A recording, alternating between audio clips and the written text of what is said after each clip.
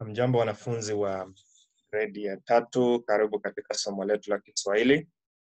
Ukikumbuka vizuri eh, juma lililopita tulikuwa tunazungumzia nyakati na bado leo tunaendelea pia kuzungumzia nyakati. Juma lililopita tulikuwa tunasoma wakati uliopo, tunasoma wakati uliopo na tulisema wakati uliopo hutumia na, wakati uliopo hutumia na, na tulisema pia kuna nyakati tatu. Tulisema kuna nyakati tatu. Nyakati ya kwanza ni wakati uliopita, nyakati ya pili ni wakati uliopo na nyakati ya tatu ni wakati ujao. Kwa hivyo tumemaliza kuangalia wakati uliopo na leo tunaenda kuangalia wakati uliopita. Kwa hivyo chukua kitabu chako na kalamu tayari kwa somo la leo. Acha tuangalie wakati ulio uliopita ni nini. Wakati uliopita hutumia li. Wakati uliopita hutumia li, na nyakati hii hutumika kuonyesha kuwa kitendo kilifanyika kitambo na kimemalizika. Kitendo kimefanyika au kilifanyika kitambo na kimemalizika.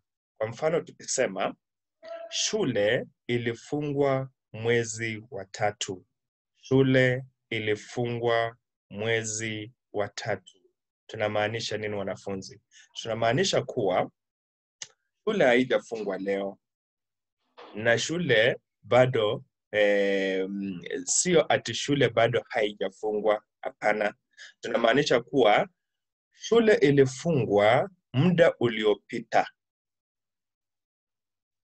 Tukijaribu kujikumbusha yale ambayo tulisoma juma lililopita kuhusu wakati wakati uliopo, tulisema wakati uliopo hutumia na. Kwa mfano tukibadilisha hii sentensi tuseme kuwa shule inafungwa mwezi wa tatu. Ina uki, ukitumia na inamaanisha ni wakati uliopo. Li ukitumia li katika kitenzi inamaanisha wakati ulio wakati uliopita. Kwa hivyo shule ilifungwa mwezi wa tatu, hiyo sentensi iko katika wakati uliopita. Kwa hivyo wakati uliopita hutumia li, wakati uliopo hutumia na katika vitenzi vyake. Hapa tuna mifano ya vitendo au vitenzi katika wakati uliopita, na mfano wa kwanza ni alianguka. Alianguka. Mfano wa pili ni aliruka. Hii ni mifano ya vitenzi katika wakati uliopita. Aliruka, kuna kitenzi aliimba, alitembea na pia tuna kitenzi aliandika. Kwa hivyo hiyo ni mifano ya maneno ambayo yanatumia wakati uliopita, maneno katika wakati uliopita. Alianguka, aliruka, aliimba, alitembea, aliandika. Tunaweza tukapata mifano mingine. Kuna mifano mingi. Kwa mfano, sahizi unafanya nini? Unasoma. Unasoma, huo ni wakati uliopo. Ukitaka kubadilisha kitenzi hicho katika wakati uliopita, unasema uli, ulisoma. Sahizi unafanya nini? Unasoma. Lakini kesho utasema ulisoma Kiswahili jana. Uli. Kwa hivyo huo ni wakati uli uliopita. Unakula, huo ni wakati uliopo. ukiambia ubadilishe katika wakati uliopita, utasema uli, ulikula. Unakula, ulikula. Unacheza, ulicheza. Unakimbia, ulikimbia. Unalala, ulilala. Kwa hivyo li hutumika kuonyesha kuwa ni wakati uliopita. Wacha tuone mifano katika sentensi, na mfano wa kwanza kwa hapo. Mtoto alianguka vibaya sana. Mtoto alianguka vibaya sana.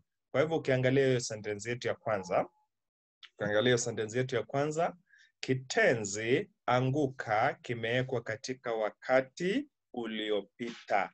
Mtoto alianguka. Kwa hivyo kitenzi alianguka kimewekwa katika wakati uliopita. Mtoto alianguka vibaya sana. Sentensi ya pili, mchezaji aliruka juu. Kitenzi ni ruka. Kwa hivyo tumekiweka katika wakati uliopita. Aliruka. Mchezaji aliruka juu. Sentensi ya tatu, shangazi aliimba alipoona chakula. Shangazi aliimba. Kwa hivyo aliimba ndio kitenzi katika wakati uliopita. Mwizi alitembea. Kitenzi ni tembea. Kuonyesha kuwa kitenzi kilifanyika wakati uliopita, tunaweka li. Kwa hivyo mwizi alitembea polepole. Mwisho, mwalimu aliandika jana. Mwalimu ali. Kitenzi ni andika. Kwa hivyo tukiweka katika wakati uliopita tunasema mwalimu aliandika jana. Kwa hivyo hiyo ndio mifano ya sentensi katika wakati uliopita. Kwa hivyo mwanafunzi, unaweza ukapewa sentensi katika wakati uliopo au wakati ujao, na uambiwe ubadilishe katika wakati uliopita. Na nimesema kuandika sentensi katika wakati uliopita tunaweka au tunatumia li katika kitenzi. Tunatumia li katika kitenzi. Hebu tusome hiyo mifano ya sentensi katika wakati uliopita. Sentensi ya kwanza, mtoto alianguka vibaya sana. Mtoto alianguka vibaya sana. Sentensi ya pili, mchezaji aliruka juu. Mchezaji aliruka juu. Sentensi ya tatu, shangazi aliimba alipoona chakula. Shangazi aliimba alipoona chakula. Sentensi ya nne, mwizi alitembea polepole. Mwizi alitembea polepole. Na sentensi ya tano, mwalimu aliandika jana. Mwalimu aliandika jana. Kwa hivyo unaweza ukapeana mifano mingine ya sentensi katika wakati uliopita. Kwa hivyo tukisonga mbele, niko hapa na zoezi, na zoezi hili nataka uandike sentensi tano. Sentensi ngapi? Tano peke yake. Sentensi tano kuonyesha wakati uliopita. Unaandika sentensi tano kuonyesha wakati uliopita. Nakupa mfano na mifano yangu tayari mimi nishapeana. Mifano yangu ndio hii. Hii ndio mifano yangu. Mifano yangu ndio hii. Hii ni mifano ya sentensi katika wakati uliopita. Kwa hivyo na wewe nataka uunde sentensi zako tano, uandike sentensi zako tano kuonyesha wakati uliopita. Andika sentensi tano kuonyesha wakati uliopita, na utumie li ndiyo sentensi yako iwe katika wakati uliopita.